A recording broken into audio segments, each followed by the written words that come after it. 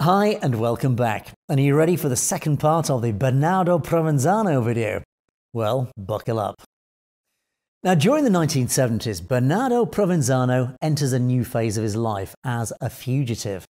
Once Leggio was arrested, Provenzano became the interim boss of his district, together with Toto Riina.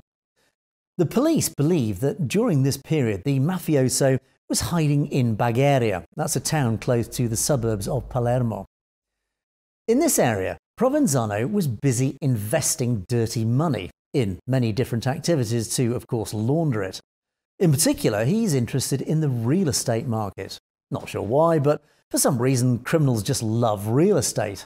Maybe because you can deploy lots of money very quickly. You rarely lose its value. And of course, you can always kind of make up a story of how you happen to get that real estate in the first place. Just speculating there, but I may be onto something. Anyway, I digress. So let's get back to the story. Now, the fugitive Provenzano in these years also finds love and marries in 1970 with Cinisi Saveria Benedetta Palazzolo, a shirt maker coming from a family that was entangled with the mafia. Now, shortly after the wedding, Bernardo decides to build a beautiful house in the countryside in which to live with his bride. But his plans are interrupted because an inspection of the Carabinieri, the Italian police, does not allow him to complete the work.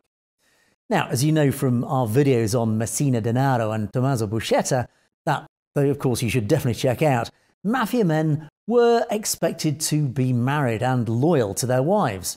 Buscetta, in particular, was treated with disrespect by many mafia men because he was a feminario playboy. Now, if the marriage represents a moment of relative serenity in the life of Provenzano, it hasn't distracted him from his ambitions. And in 1981, he gets the opportunity to definitely conquer new power. And that's in connection with the Second Mafia War and the season of massacres.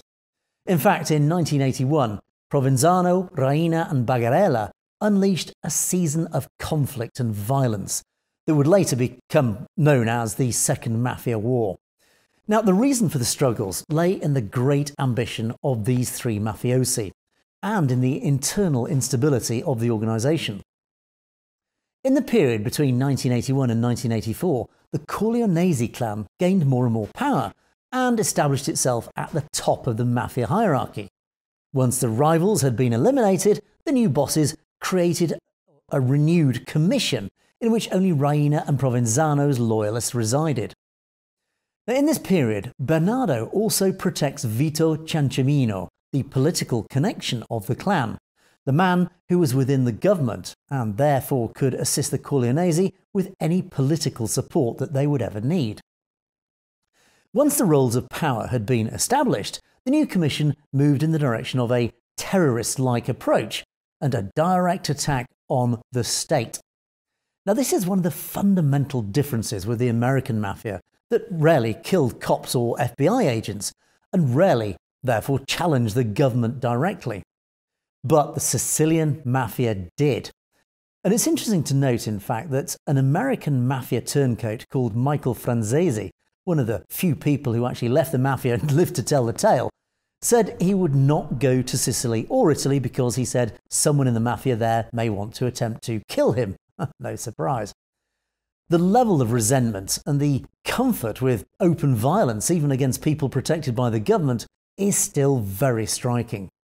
Many honest law enforcement people like uh, Ninni Cassarà, Beppe Montana, and Antonino Saetta are eliminated one by one.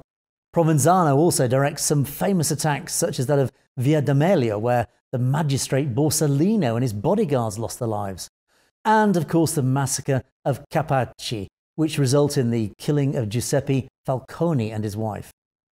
Provenzano's co-head and loyal friend Toto was arrested in 1993, and Provenzano at that point becomes a sort of reference figure that will decide the future of the organisation. Bernardo is convinced that the time has come to maintain a low profile following the arrest of Bagarella. The period of the attacks must now end. Now the mafia needs to act in silence in order to infiltrate society and, and become more powerful. He understands that a direct challenge to the state will always result in a strong reaction by the police, which of course then limits the mafia's ability to run its affairs. So he then decides to pass to the command of the Corleone clan Giovanni Brusca, receiving in exchange the title of Boss of Bosses. He knows power is best kept in the shadows, so Provenzano leaves the scene once again and limits murders and sensational activities to the minimum. The same police forces are convinced of his death because his wife and family return to live and work in Corleone. Provenzano goes back to being invisible, but in reality, he continues to maintain a dense network of contacts that allow him to carry out his illegal activities. His first collaborator is his wife, who over the years proves to be just not a simple shirt maker, but a real criminal entrepreneur. Owner of an immense asset base, she becomes owner of two companies that are a cover to launder dirty money. In 1990, she herself is convicted and sentenced to three years in jail, then reduced to two. But she doesn't serve them because, like her husband, she manages to hide herself. She reappears sometime later in Corleone with her children still underage, ready to lead an apparently normal life, because she is protected from the pressures of justice. Mrs. Provenzano, however, continues to communicate with her husband, to whom she remains, of course, utterly faithful, and somehow helps him to stay in touch with his, with his collaborators and allies. Bernardo is not called the accountant by chance. In fact, he has a brilliant, intuitive mind and invents a code to give directives to his affiliates and seek the alliance of politicians and men of power.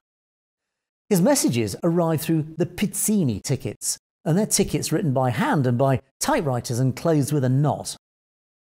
And it's thanks to these Pizzini that Bernardo manages to remain hidden and remain unarrested for 43 years. Even the new technologies don't succeed in opening a breach in that iron barrel that he's built up around himself over the years. He knows that technology can be traced. His system prevents tracing because it's so primitive but equally safe. His collaborators warn him about the ease of intercepting messages on cell phones, and the boss of bosses listens to their advice, continuing to use his typewriter and blank sheets of paper to maintain his relationship with the outside world. But despite the brilliant moves, in the end, it's the Pizzini that reveal Provenzano's hiding place to law enforcement. The notes are, in fact, found in some packages of groceries and clean laundry. Bernardo was never far away, and in fact, he's been hiding for almost 50 years not far from his own family, in a very simple cottage. And this is one of the crazy things about the Sicilian mafia in particular. They make billions of dollars in illegal activities, but they often live like peasants and farmers. Power is what they seek versus the luxuries of life. This is very different from Messina Denaro and Buscetta, who both love their good life, and from the South American drug lords Pablo Escobar and Chapo Guzman. And by the way, uh, any interest in hearing more about those two, as always, if there's anything that piques your interest, just drop us a comment in the comments below and we'll look into whatever it is that you want us to tell you about.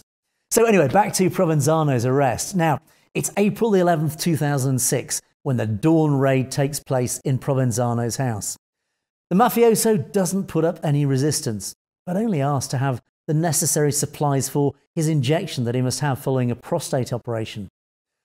And it was this very operation, which took place in 2002, which represented the first episode that actually led to the tracking of the mafioso and was the prelude to his arrest. In fact, the mafioso had taken a fake identity in order to have the operation for prostate cancer. The mysterious death of the urologist and the discovery of Provenzano's photo on the forged identity card had then prompted law enforcement to research the case more deeply. We actually do have a video on the death of that surgeon on our channel, which is pretty interesting. It's really sad that his death was disguised as a suicide and was in fact likely a murder just to get rid of him as a witness. Poor chap. Provenzano spent the rest of his life in prison, slowly losing his power and his physical and mental health. In 2012, he attempted suicide, and in 2016, he died at the San Paolo Hospital in Milan after a long illness. Despite the weakening of his health and the benefits he would have had if he'd just caved, Provenzano never cooperated with justice. Just like Riina, he died in silence. Until next time, ciao.